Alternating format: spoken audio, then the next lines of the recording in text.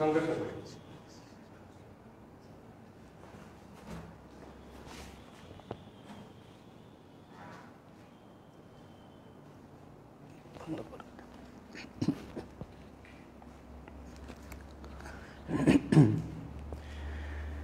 আসসালামু আলাইকুম। আমি মোহাম্মদ শফিকুল ইসলাম, সহকারী অধ্যাপক, রসায়ন বিভাগ, কৃষি বিশ্ববিদ্যালয় কলেজের পক্ষ থেকে সবাইকে স্বাগতম জানিয়ে আমি আমার আজকে ক্লাস শুরু করছি। যারা আমার সাথে এই মুহূর্তে ক্লাসে যুক্ত আছেন সবাইকেই অনেক অনেক প্রীতি ও শুভেচ্ছা জানাচ্ছি। আসলেও আজকে একটু নেট প্রবলেমের জন্য কয়েক মিনিট দেরি হয়ে গেল, এই জন্য আন্তরিকভাবে দুঃখিত। তো যাই হোক, আমি একটি কথা বলছি। যে এমনি সরাসরি ক্লাস করলেই অনেক শিক্ষার্থী অনেক পড়া বুঝতে সমস্যা হয়। আর অনলাইনে ক্লাস তো আরও একটু যেহেতু ইনডাইরেক্ট ক্লাস হচ্ছে, বুঝতে সমস্যা হওয়াটাই স্বাভাবিক। তো যে সকল শিক্ষার্থী এখন লাইনে যুক্ত আছো, তাদেরকে আমি বলছি যে আমরা কোন জায়গা থেকে পড়াচ্ছি, সেটি আগে আইডেন্টিফাই করতে হবে তোমাদেরকে। সেই স্থানটা তোমাদেরকে জানতে হবে। তোমরা সবাই মনোযোগ সহকারে আমার কথাটি শোনো। আমি রসায়ন প্রথম পত্রের দ্বিতীয় অধ্যায়, রসায়ন প্রথম পত্রের দ্বিতীয় অধ্যায় পড়াচ্ছি। সেই অধ্যায়টির নাম হলো গুণগত রসায়ন। গুণগত রসায়ন গুণগত রসায়ন দ্বিতীয় অধ্যায় পড়াচ্ছি এবং এই গুণগত রসায়নের আবার প্রথম থেকে শুরু করছি না। পড়াটি হচ্ছে মাঝখান থেকে। এই জন্য তোমাদের অনেকেই এই পড়াটি ধরতে হয়তো বা কষ্ট হতে পারে। এই জন্য আমি তোমাদেরকে আগে পরিষ্কার করে নিচ্ছি যে কোন জায়গাটি আমি আগে পড়াচ্ছি, তোমরা সবাই খেয়াল করো। গুণগত রসায়নের দ্রাব্যতা সম্পর্কিত দ্রাব্যতা সম্পর্কিত গাণিতিক সমস্যা। সম্পর্কিত গাণিতিক সমস্যাগুলো আমরা আজকে গাণিতিক সমস্যা বলি।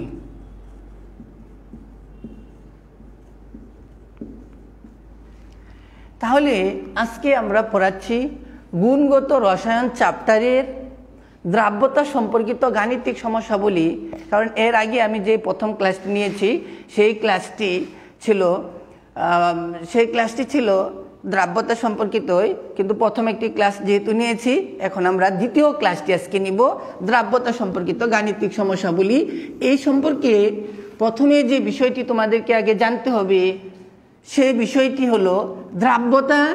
দ্রাব্যতা বিষয়টি কি আমি গতদিন পড়াইছিলাম, তোমরা যারা লাইনে ছিল বা যারা জানো তারা পারবে।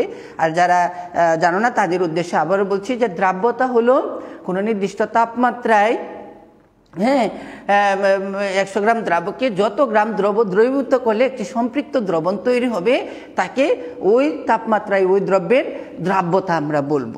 তাহলে দ্রাব্যতা হলো সম্পৃক্ত দ্রবণ তৈরি করতে হবে। তো এখন এই দ্রাব্যতা সম্পর্কিত বাংলাতে যদি আমরা লিখি যে দ্রাব্যতা সমান কি?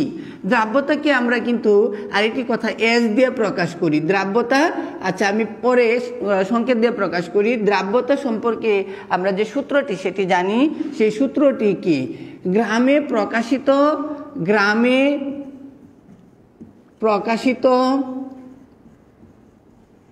প্রকাশিত দ্রব্যের বর দ্রব্যের ভর বাই গ্রামে প্রকাশিত, বাই গ্রামে প্রকাশিত গ্রামে প্রকাশিত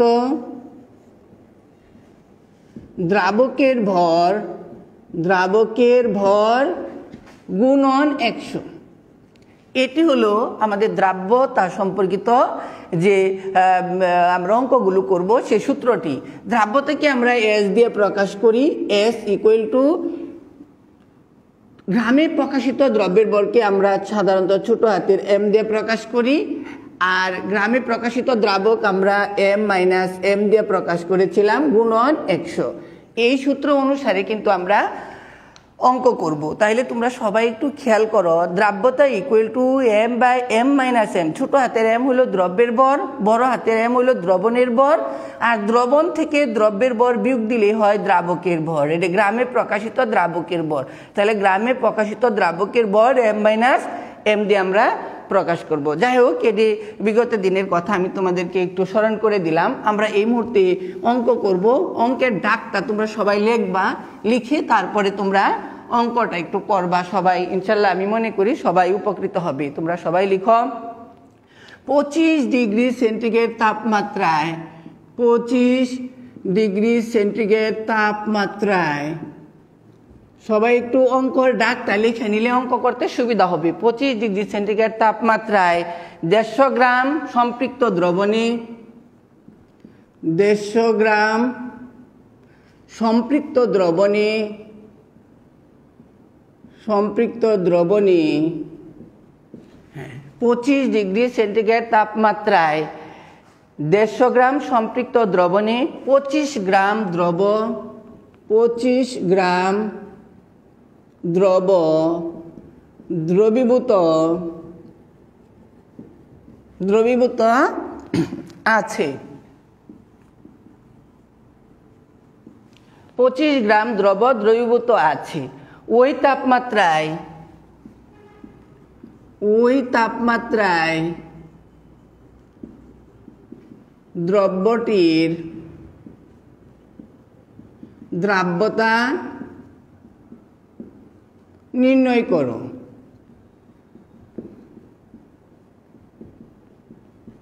খেয়াল করো তোমরা, প্রশ্নটি সবাই একটু খেয়াল করো। আবারও পঁচিশ ডিগ্রি সেন্টিগ্রেড তাপমাত্রায় একশো পঞ্চাশ গ্রাম সম্পৃক্ত দ্রবণী, পঁচিশ গ্রাম দ্রব দ্রবীভূত আছে। ওই তাপমাত্রায় দ্রব্যটির দ্রাব্যতা নির্ণয় করো। ওই তাপমাত্রায় দ্রব্যটির দ্রব্যটির দ্রাব্যতা নির্ণয় করো। এই সূত্র, এই অনুসারে আমরা এই প্রশ্নের উত্তরটি আমরা ইনশাল্লাহ দিতে পারব। আমাদের খেয়াল করো, সূত্র অনুসারে আমরা অঙ্কটি করতে পারব। তাহলে অঙ্কটি যখন করবে, তুমি তখন দেখবা, এখানে তাপমাত্রা অঙ্কের মধ্যে আসছে না, দ্রাব্যতা তোমরা সবাই জানো যে দ্রাব্যতা S equal to M by M minus M গুণন হান্ড্রেড এই সূত্র অনুসারে আমরা করব। তাহলে এখানে, লেখো, এখানে কি কি বিষয়গুলো আছে, আমরা উত্তর দিচ্ছি। উত্তরটা তোমরা সবাই লিখে নাও। এইখানে এত একশো পঞ্চাশ গ্রাম সম্পৃক্ত দ্রবণী, তাইলে দ্রবণ, এখানে দ্রবণ বড় হাতের এম ইকুয়াল টু একশো পঞ্চাশ গ্রাম। এটি হলো দ্রবণ। দেড়শো গ্রাম সম্পৃক্ত, একশো পঞ্চাশ গ্রাম সম্পৃক্ত দ্রবণে পঁচিশ গ্রাম দ্রব আছে। তাহলে দ্রব কতটুকু আছে? দ্রব আছে পঁচিশ গ্রাম। তাহলে দ্রব আছে পঁচিশ গ্রাম। তাহলে আমরা কি নির্ণয় করব? আমরা নির্ণয় করব দ্রাব্যতা। তাহলে দ্রাব্যতা এস ইকুয়াল টু হোয়াট তাহলে আমরা জানি, তোমরা সবাই, আমি বিশ্বাস করি সবাই পারবে। অঙ্কটি একটু চেষ্টা করো। আমরা জানি আমরা জানি S equal to S equal to M M minus M গুণন হান্ড্রেড এখানে তোমরা এম এর মান হলো কত? এম এর মান হলো পঁচিশ। ঠিক আছে? এম এর মান কত? পঁচিশ। আর এখানে এম হলো একশো পঞ্চাশ বিয়োগ পঁচিশ গুণন হান্ড্রেড। তাহলে তোমরা হিসেব করো কত হয়?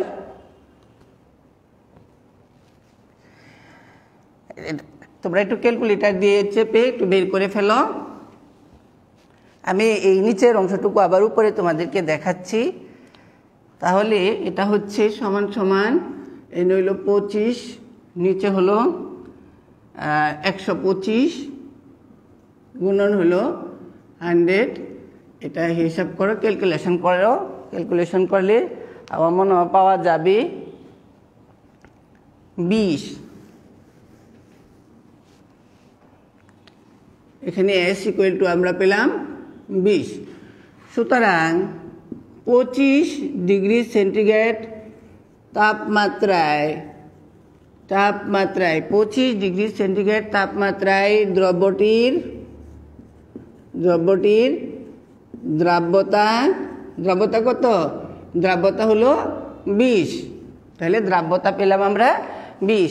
এটি হলো আমাদের খেয়াল করো সবাই, পঁচিশ ডিগ্রি সেন্টিগ্রেড তাপমাত্রায় একশো পঞ্চাশ গ্রাম সম্পৃক্ত দ্রবণে পঁচিশ গ্রাম দ্রব দ্রবীভূত আছে। ওই তাপমাত্রায় দ্রব্যটির দ্রাব্যতা নির্ণয় করো। তাহলে দ্রাব্যতা সূত্রটি আমরা সূত্র এর মধ্যে ফেলে আমরা অঙ্কটি কমপ্লিট করেছি। তাহলে দ্রাব্যতা ইকুয়াল টু কত হলো? বিশ। তাহলে পঁচিশ ডিগ্রি সেন্টিগ্রেড তাপমাত্রায় আমরা পেলাম কত? পঁচিশ ডিগ্রি সেন্টিগ্রেড তাপমাত্রায় হ্যাঁ দ্রব্য দ্রব্যটির দ্রাব্যতা পেলাম বিশ। এখন আসো আমরা। আমি বিশ্বাস করি এই অঙ্কটি তোমরা সবাই সুন্দর করে বুঝ- বুঝতে পেরেছ। এখন আমরা দ্বিতীয় আরেকটি অঙ্কে চলে যাব। একই বিষয় একই রকম। তোমরা একটু খেয়াল করবে যেহেতু প্রথম অবস্থায় এই অঙ্কগুলো দেখছ এবং এই অধ্যায়ের মাঝামাঝি অংশে যেহেতু পড়াটা তোমাদের একটু কষ্টই হবে ধরতে, তবু আমি তোমাদেরকে যাতে সহনশীলভাবে তোমরা সকলেই যাতে এটি গ্রহণ করতে পারো, আমি সেই চেষ্টাই করছি, তোমরা সবাই একটু খেয়াল করবা।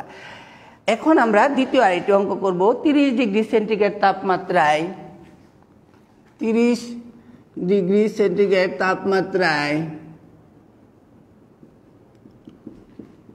কোনো লেখ তিরিশ সবাই লিখে নিবা।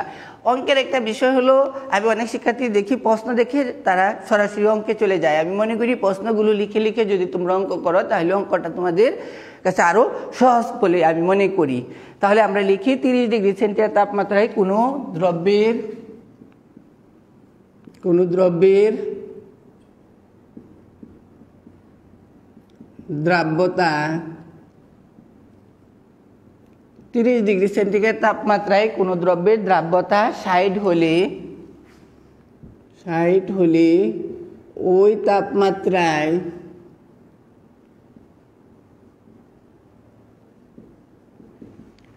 তিরিশ ডিগ্রি সেন্টিগ্রেড তাপমাত্রায় কোনো দ্রব্যের দ্রাব্যতা ষাট হলে ওই তাপমাত্রায় এক কেজি সম্পৃক্ত, এক কেজি সম্পৃক্ত দ্রবণ ওই তাপমাত্রায় এক কেজি সম্পৃক্ত দ্রবণ সম্পৃক্ত দ্রবণ, এক কেজি সম্পৃক্ত দ্রবণ তৈরি করতে, দ্রবণ তৈরি করতে কত গ্রাম দ্রব্য হ্যাঁ কত গ্রাম দ্রব্য এবং দ্রাবক লাগবে? কত গ্রাম দ্রব এবং দ্রাবক লাগবে তোমরা অঙ্ক আবার অঙ্কের ডাকটা সবাই সুন্দর করে খাতায় লিপিবদ্ধ করো। তিরিশ ডিগ্রি সেন্টিগ্রেড তাপমাত্রায় কোনো দ্রব্যের, তিরিশ ডিগ্রি সেন্টিগ্রেড তাপমাত্রায় কোনো দ্রব্যের দ্রাব্যতা ষাট হলে ওই তাপমাত্রায় এক কেজি সম্পৃক্ত দ্রবণ তৈরি করতে কত গ্রাম দ্রব এবং দ্রাবকের প্রয়োজন হবে? কত গ্রাম দ্রব্য এবং দ্রাবকের প্রয়োজন হবে? তোমরা একটু সবাই সুন্দর করে একটু খেয়াল করো। আমি এখান থেকে বলছিলাম যে তোমাদের প্রশ্ন দেখে দেখে আমরা অঙ্কে চলে যাব, তাহলে আমাদের জন্য সুবিধা হবে। প্রশ্ন দেখে দেখে আমরা লেখার চেষ্টা করব। তো সবাই একটু খেয়াল করো। আমরা শুরু করি অঙ্কটি। এখানে কি কি আছে? এখানে তিরিশ ডিগ্রি সেন্টিগ্রেড তাপমাত্রায়। কোনো দ্রব্যের দ্রাব্যতা হলো, দ্রাব্যতা দেওয়া আছে তাহলে লিখতে পারো, দ্রাব্যতায় প্রথমে লিখি, দ্রাব্যতা দ্রাব্যতা এস ইকুয়াল টু ষাট। দ্রবণ দ্রবণ আমরা বড় হাতের এম দিয়ে প্রকাশ করছি, কত আছে? এক কেজি। এক কেজি। এক কেজিকে আমরা গ্রামে নিয়ে যাব? এক হাজার গ্রাম। দ্রব এখানে আমরা লিখব যে দ্রব দ্রব এম দ্রব এম ইকুয়াল টু হোয়াট আবার দ্রাবক M minus M equal to what দুটি হোয়াট আমাদের। তাহলে আমি অঙ্কটি আবার বারবার রিপিট করছি, তোমরা একটু খেয়াল করবা, আর লেখাগুলো সবাই একটু লিখে নাও, তাহলে সুবিধা হবে। অঙ্ক পরে যেহেতু বোর্ডে সব লেখায় দেখানো সম্ভব হয় না, আমি মুছে মুছে যেহেতু লিখব, সুতরাং তোমরা এটা লেখা কমপ্লিট করো। আমি বলছি, এখানে দ্রাব্যতা, প্রথমে আমি প্রশ্নে পেয়েছি দ্রাব্যতা, তাহলে দ্রাব্যতা এস ইকুয়াল টু ষাট দ্রবণ দ্রবণ এম ইকুয়াল টু এক কেজি। এক কেজিকে আমরা গ্রামে প্রকাশিত করছি। গ্রামে প্রকাশিত করছি কত? এক হাজার গ্রাম। দ্রব্য ইকুয়াল টু হোয়াট এবং দ্রাবক ইকুয়াল টু হোয়াট তাহলে আমরা এখানেও লিখতে পারি যে আমরা জানি, আমি এখানে এই- সাইডটা লিখি, তোমরা একটু খেয়াল করো। আমরা জানি আমরা জানি S equal to M M minus M গুণন হান্ড্রেড এখানে এস হলো ষাট ইকুয়াল টু এম এর মান আমরা বের করব, আর এটা হলো এক হাজার মাইনাস এম গুণন হান্ড্রেড আমি বা লেখা ষাট সমান সমান এনে লিখলাম যে একশো এম এটা এক হাজার মাইনাস এম আমি এই পাশেটা এখন মুছে দিচ্ছি, তোমরা একটু খেয়াল করবে। মুছে আমরা এই সাইড দিয়ে কমপ্লিট করি। তাহলে এই যদি আমরা হিসাব করি, তাহলে পাচ্ছি যে বা লেখা আমরা একশো এম ইকুয়াল টু যদি আর আর গুণ করি সিক্স মাইনাস ষাট এম বা আমাদের এই মাইনাস ষাট এম যদি এই পাশে নিয়ে আসি আমরা, তাহলে পাচ্ছি একশো এম প্লাস ষাট এম ইকুয়াল টু এই বা একশো ষাট এম ইকুয়াল টু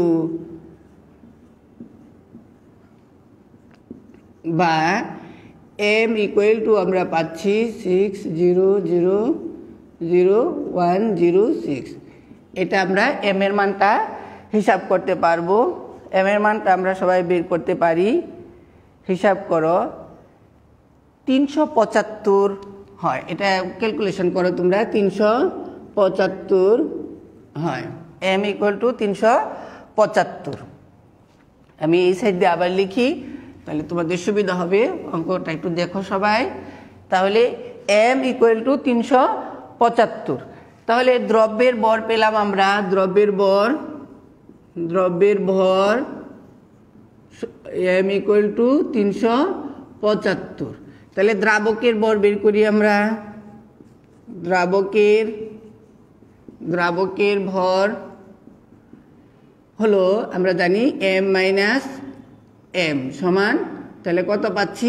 এক হাজার মাইনাস তিনশো পঁচাত্তর সমান কত পাচ্ছি? ছয়শো পঁচিশ গ্রাম, ছয়শো পঁচিশ। তাহলে দ্রব্যের বর হলো তিনশো পঁচাত্তর এবং দ্রাবকের বর হলো ছয়শো পঁচিশ। আমি তোমাদেরকে একদম ভেঙে ভেঙে ভেঙে ভেঙে লিখ- দিচ্ছি যাতে তোমাদের বুঝতে, যারা একদম বুঝতে সমস্যা হয়, আমি তাদের উদ্দেশ্যেই বলছি যে তোমরা কিন্তু চাইলে অনেকগুলো লাইন আমি যেহেতু করছি, তোমরা ক্যালকুলেটর দিয়ে চাপ দিলে কিন্তু অনেকগুলো লাইনকেই তুমি আরও ছোট লাইনে পরিণত করতে পারবা। তাহলে এই অঙ্কটা আমরা কমপ্লিট করতে পারলাম। এই অঙ্কের মধ্যে তাহলে এটার উত্তরটা কি আসতেছে? উত্তর হলো দুটি উত্তর পেলাম আমরা। একটি হলো দ্রব্যের বর দ্রব্যের ভর কত? দ্রব্যের ভর ইকুয়াল টু তিনশো পঁচাত্তর গ্রাম। আর দ্রাবকের ভর কত পেলাম? দ্রাবকের ভর ছয়শো পঁচিশ গ্রাম। এই হলো এই অঙ্কের উত্তর। তাহলে আমরা এই দুটি অঙ্ক কমপ্লিট করতে পারছি। আসো, আমরা আরেকটি অঙ্ক কমপ্লিট করি। সময় যেহেতু স্বল্প অনলাইনে ক্লাস একদম নির্দিষ্ট টাইমেই শেষ করা জরুরি। এখানে কম বেশি করার কোনো সুযোগ নাই। আমরা আরেকটি অঙ্ক কমপ্লিট করার চেষ্টা করি। আমি একটু তাড়াহুড়া করছি।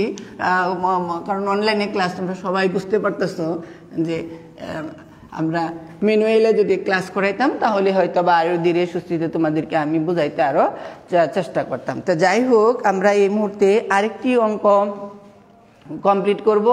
তোমরা একটু সবাই মনোযোগ সহকারে শুনো এবং এই অঙ্কটি অনেক সময় উদ্দীপক হিসাবে দিয়ে দেওয়া হয়। পঁচিশ ডিগ্রি ও পঁয়ত্রিশ ডিগ্রি সেন্টিগ্রেড তাপমাত্রায়, তোমরা লেখো পঁচিশ ডিগ্রি সেন্টিগ্রেড ও পঁয়ত্রিশ ডিগ্রি সেন্টিগ্রেড। তাপমাত্রায় পঁচিশ ডিগ্রি ও পঁয়ত্রিশ ডিগ্রি সেন্টিগ্রেড তাপমাত্রায় কোনো দ্রব্যের দ্রাব্যতা। কোনো দ্রব্যের দ্রাব্যতা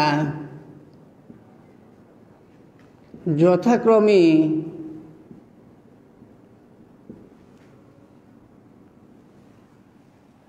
পঁচিশ ডিগ্রি ও পঁয়ত্রিশ ডিগ্রি সেন্টিগ্রেড তাপমাত্রায় কোনো দ্রব্যের দ্রাব্যতা যথাক্রমে চল্লিশ ও ষাট। চল্লিশ ও ষাট।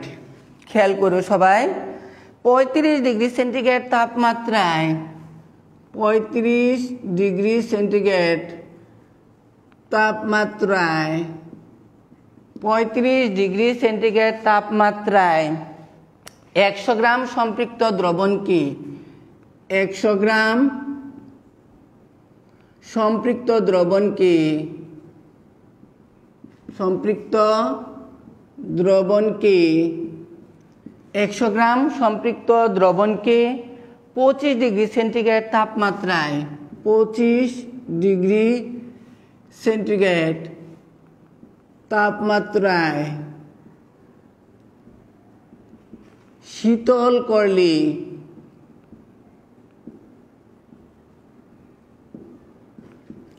কত গ্রাম? দ্রব। কত গ্রাম দ্রব? কেলাসিত হবে। কেলাসিত হবে। কত গ্রাম দ্রব কেলাসিত হবে। এই অঙ্কটি অত্যন্ত গুরুত্বপূর্ণ একটি অঙ্ক এবং প্রায় অনেকগুলো রাইটারের বইয়ের মধ্যেই তোমরা এই অঙ্কগুলো পাবে। এই ধরনের অঙ্কগুলো করতে গেলে আমি আগেই বলছি যে এখানে তাপমাত্রার সাথে দ্রাব্যতা যেহেতু নির্ভর করে, তাপমাত্রা বৃদ্ধি করলে কোনো পদার্থের দ্রাব্যতা যেহেতু বৃদ্ধি পায়, তাহলে যখন এটিকে কম তাপমাত্রায় অর্থাৎ কম তাপমাত্রা দেওয়া হবে, একটু শীতল করা হবে, তখন কিন্তু অতিরিক্ত যে পদার্থগুলো দ্রবীভূত ছিল, সেই পদার্থগুলো কিন্তু কেলাসিত হয়ে যাবে। এবং কতটুকু পদার্থ কেলাসিত হলো, তার পরিমাণ নির্ণয় করাই কিন্তু এই অঙ্কটি। তো আমরা আসো, এই অঙ্কগুলো, এই অঙ্কটা আমরা করার চেষ্টা করি। সবাই সাথে থাকো। আমরা প্রথমেই কিন্তু বেশি তাপমাত্রার এটা হিসাব করব। বেশি তাপমাত্রা বলতে আমি পঁয়ত্রিশ ডিগ্রি সেন্টিগ্রেড তাপমাত্রায় বলব। তাহলে এখন অঙ্কটি শুরু করছি আমরা। পঁয়ত্রিশ ডিগ্রি পঁয়ত্রিশ ডিগ্রি সেন্টিগ্রেড তাপমাত্রায়। পঁয়ত্রিশ ডিগ্রি সেন্টিগ্রেড তাপমাত্রায়। হ্যাঁ দ্রাব্যতা কত? পঁয়ত্রিশ ডিগ্রি সেন্টিগ্রেড তাপমাত্রায় আমরা তাপমাত্রায় দ্রাব্যতা, দ্রাব্যতায় এস ইকুয়াল টু ষাট। দ্রবণ পেলাম আমরা কতটুকু? দ্রবণ দ্রবণ এম ইকুয়াল টু একশো গ্রাম। দ্রব এম ইকুয়াল টু হোয়াট এই বিষয়টি একটু আমরা সবাই একটু খেয়াল করি। তাহলে পঁয়ত্রিশ ডিগ্রি সেন্টিগ্রেড তাপমাত্রায় প্রথমে করব, অর্থাৎ বেশি যে তাপমাত্রা, সেই তাপমাত্রায় লিখব পঁয়ত্রিশ ডিগ্রি সেন্টিগ্রেড তাপমাত্রায় দ্রাব্যতায় এস ইকুয়াল টু ষাট দ্রবণ এম ইকুয়াল টু একশো গ্রাম দ্রব এম ইকুয়াল টু হোয়াট তাহলে আমরা জানি, আমরা সে একই সূত্র বারবার দিচ্ছি, আমরা জানি S equal to M M minus M গুণন হান্ড্রেড তাহলে এখানে হলো ষাট, এখানে হলো এম এখানে হলো একশো মাইনাস এম গুণন হান্ড্রেড বা আমরা একটু হিসাব করে নিই ষাট ইকুয়াল টু এখানে পেলাম একশো এম এখানে একশো মাইনাস এম আমরা একটু এই সাইডে আমি তোমাদের গেতাতে এই সাইডে আমরা করে দিচ্ছি, একটু সবাই খেয়াল করো। তাহলে এখানে আমি যদি গুণ করি, তাহলে এটা লেখা যায় যে একশো এম ইকুয়াল টু আমি বা লিখে এখানে লিখে দিচ্ছি। একশো এম ইকুয়াল টু মাইনাস ষাট এম এমগুলোকে আমরা এক পাশে নিয়ে যাই।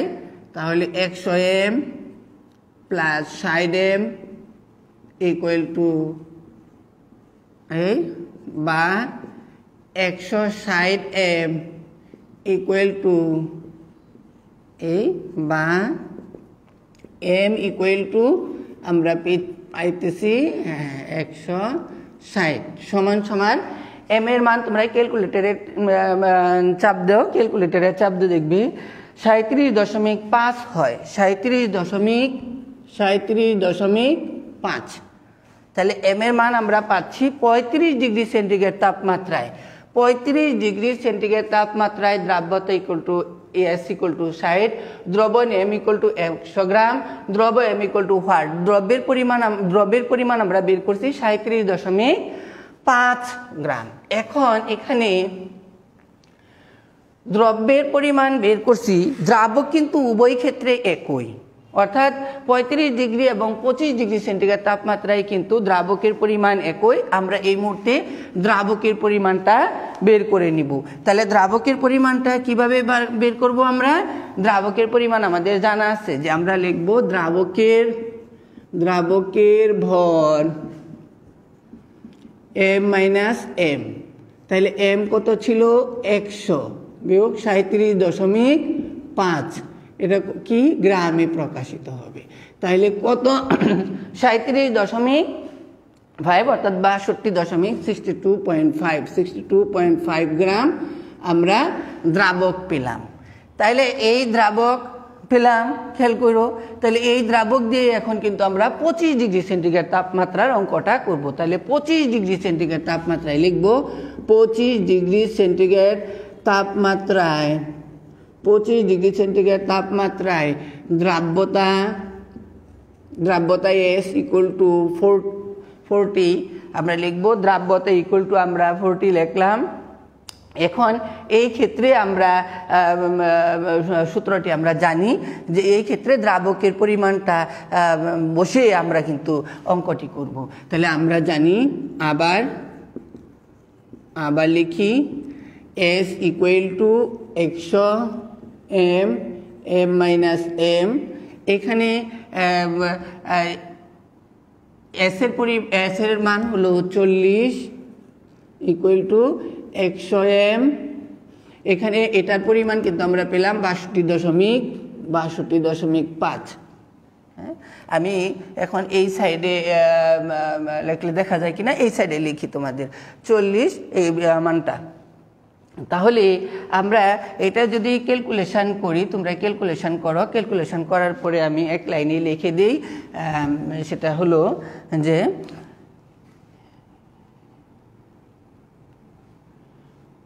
একশো এম ইকুয়াল টু আমরা এটা দিয়ে যদি গুণ করি, তাহলে চল্লিশ গুণ গুণন সিক্সটি টু পয়েন্ট ফাইভ বা এম ইকুয়াল টু আমরা পেলাম চল্লিশ গুণন sixty two point five by hundred equal to M এর মান পাবো আমরা এম এর মান পাবো আমরা পঁচিশ। এটা হিসাব করো, তুমি ক্যালকুলেটারে পাবে পঁচিশ। তাহলে এম এর মান পেলাম আমরা পঁচিশ গ্রাম। তাহলে পঁয়ত্রিশ ডিগ্রি সেন্টিগ্রেড তাপমাত্রায় আমরা দ্রব্য পেয়েছিলাম সাঁত্রিশ দশমিক পাঁচ এবং পঁচিশ ডিগ্রি সেন্টিগ্রেড তাপমাত্রায় আমরা দ্রব্য পেলাম হ্যাঁ পঁচিশ গ্রাম। তাহলে এই যে বাকি পদার্থটুকু, এইটুকুই কিন্তু ক্যালাসিত হয়েছে তাহলে পঁয়ত্রিশ ডিগ্রি সেন্টিগ্রেড তাপমাত্রায় আমরা কতটুকু পেলাম দ্রব্য এবং পঁচিশ ডিগ্রি সেন্টিগ্রেড তাপমাত্রায় আমরা কতটুকু দ্রব্য পেলাম। তাহলে বাকি পদার্থটাই কি হয়েছে ক্যালাসিত হয়েছে তাহলে ক্যালাসিত হবে, লিখব আমরা ক্যালাসিত হবে। ক্যালাসিত কেলাসিত হবে কতটুকু? সাঁত্রিশ দশমিক পাঁচ মাইনাস পঁচিশ গ্রাম। তাহলে কতটুকু হলো? সমান সমান দেখো তোমরা সবাই। আমরা বলব হ্যাঁ বারো দশমিক বারো দশমিক পাঁচ গ্রাম পদার্থ কেলাসিত হবে। তাহলে এখন খেয়াল করে দেখো, আমি যে অঙ্কটি তোমাদেরকে করাইতেছিলাম, তোমরা সবাই একটু খেয়াল করো, পঁচিশ ডিগ্রি সেন্টিগ্রেড ও পঁয়ত্রিশ ডিগ্রি সেন্টিগ্রেড তাপমাত্রায় কোনো দ্রব্যের দ্রাব্যতা যথাক্রমে চল্লিশ ও ষাট। পঁয়ত্রিশ ডিগ্রি সেন্টিগ্রেড তাপমাত্রায় একশো গ্রাম সম্পৃক্ত দ্রবণকে পঁচিশ ডিগ্রি সেন্টিগ্রেড তাপমাত্রায় শীতল করলে কত গ্রাম দ্রব্য কেলাসিত হবে তা নির্ণয় করো। তাহলে এরকম দুটি তাপমাত্রায় যখন দুটি দ্রাব্যতার মান দেওয়া থাকে, আমরা যে বেশি তাপমাত্রায় সে বেশি তাপমাত্রা থেকে অঙ্কটা স্টার্ট করব। অর্থাৎ পঁয়ত্রিশ ডিগ্রি সেন্টিগ্রেড তাপমাত্রায় আমরা অঙ্কটি স্টার্ট করছি, পঁয়ত্রিশ ডিগ্রি সেন্টিগ্রেড তাপমাত্রায় আমরা দ্রব্যের পরিমাণটা বের করে নিব যে কত গ্রাম দ্রব্য ছিল। তারপরে আমরা সেখান থেকে দ্রাবকের পরিমাণটা নিয়ে পরবর্তী কম তাপমাত্রায়, অর্থাৎ পঁচিশ ডিগ্রি সেন্টিগ্রেড তাপমাত্রায় কত গ্রাম দ্রব্য দ্রবীভূত আছে তার পরিমাণ বের করছি। তাহলে দুটি তাপমাত্রায় যখন আমরা দ্রব্যের পরিমাণ বের করে নিছি, তখন দুটি তাপমাত্রায় কত গ্রাম দ্রব্য দ্রবী মানে ক্যালাসিত হলো তার পরিমাণ বের করতে পারছি। তা আমার মনে হয় তোমরা সকলেই অঙ্কগুলো বুঝতে পেরেছ। যারা বুঝতে না পারো, তারা অবশ্যই পরবর্তী সময়ে আমাদের রেকর্ড দেখে এগুলো করে ফেলবে এবং কিছু কিছু ক্যালকুলেশান আমি এমনি করে ফেলছি। তোমরা ক্যালকুলেটার দিয়ে, চাপ দিয়ে তোমরা সকলেই সুন্দর করে এগুলো কমপ্লিট করতে পারবে বলে আমি আশা করি। তাহলে আজকে আমাদের কার্যক্রম আমরা শেষ পর্যায়ে চলে আসছি। তোমাদের সকলকে আমি বলব, তোমরা বাসায় বেশি বেশি চর্চা করো। চর্চা করলেই তোমরা আমাদের ক্লাসগুলো সহজে গ্রহণ করতে পারবা। আর এই ক্লাসগুলো যেহেতু ইনডাইরেক্টভাবে হচ্ছে অত্যন্ত মানে জটিল হওয়াটাই স্বাভাবিক আমরা সবাই মনে করি। তো কি করব? আমরা পরিস্থিতিতে সকলেই শিকার হয়ে এই অবস্থায় যাতে তোমরা পড়াটা চালু রাখতে পারো তার উদ্যোগেই আমরা আম, আম, সরকারি সিদ্ধান্ত মোতাবেক ক্লাস নিচ্ছি। তো যাই হোক তোমরা সবাই বেশি বেশি করে চর্চা করবে তাহলে মানে সমস্যাগুলো আমাদের ক্লাসের মধ্যে সলভ করতে পারবে। এই আশাবাদ ব্যক্ত করে সবাইকে সুস্বাস্থ্য দীর্ঘ কামনা করে আজকের ক্লাস এখানে শেষ করছি। আল্লাহ হাফেজ ভালো থাকো